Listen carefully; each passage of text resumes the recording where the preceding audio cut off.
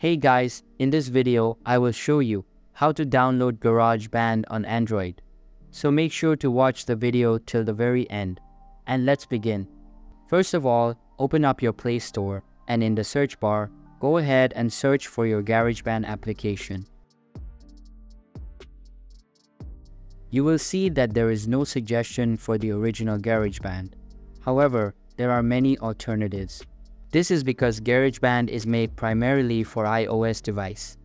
Now, Walkband is one of the great alternative for your GarageBand and it is even verified by Google Play Store.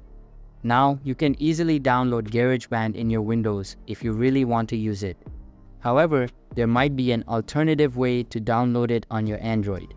For this, you have to exit from your Play Store, then open up your browser and here search for GarageBand Android and you will find various of APK versions for GarageBand.